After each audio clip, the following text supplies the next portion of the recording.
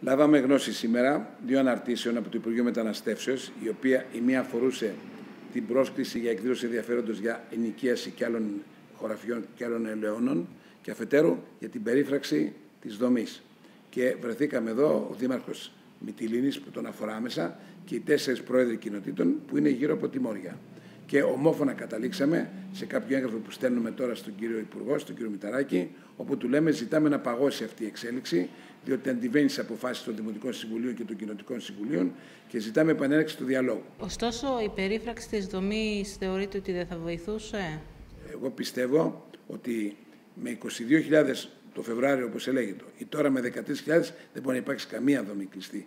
Προσωπικά είμαι και η Περιφερειακή Αρχή είναι κατά της υπάρξεως δομών στα νησιά αυτά, τα τόσο επικίνδυνα βρισκόμενα κοντά στην γείτονα, την επιθετική γείτονα και η απομάκρυνση όλων των μεταναστών. Προς το οποίο θέμα βλέπω ότι γίνεται καλή δουλειά τώρα από την κυβέρνηση. Υπάρχει συνεχώς μία μείωση των μεταναστών από τη Λέσβο. Όχι τόσο πολύ στοιχείο και στη Σάμο, αλλά επειδή η αριθμή είναι πιο μεγάλη στη Λέσβο, έχει δοθεί μεγάλη έμφαση στην ε, Λέσβο.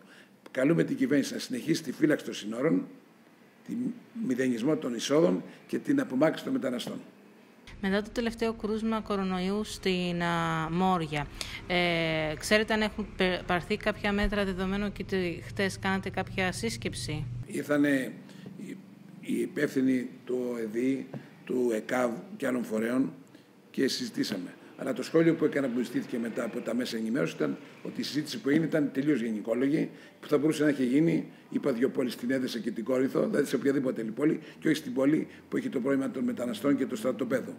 Εγώ πρότεινα μερικά πράγματα, τον πλήρη αποκλεισμό του στρατοπέδου, των δομών που υπάρχουν, την διακοπή των συγκοινωνιών μεταξύ της ε, της ε, Μόργιας και της πόλεως και ανταυτού ενημερώθηκα ότι 60 μετανάστες πήγαν στην υπηρεσία ασύλου τότε τι νόημα έχει ο αποκλεισμός όταν υπάρχει αυτή η επικοινωνία.